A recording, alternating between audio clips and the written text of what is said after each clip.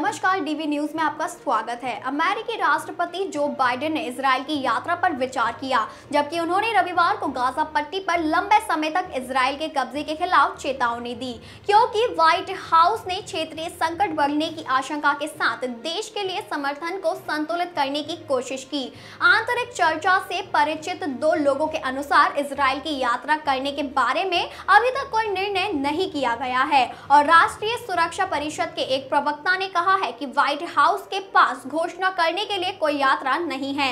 लेकिन संभावित यात्रा और गाजा में फिलिस्तीनियों और पूरे क्षेत्र के अरब नेताओं द्वारा व्यक्त की गई चिंताओं को स्वीकार करना नवीनतम संकेत था कि अमेरिका संकट को और अधिक बढ़ने से रोकने की कोशिश कर रहा था।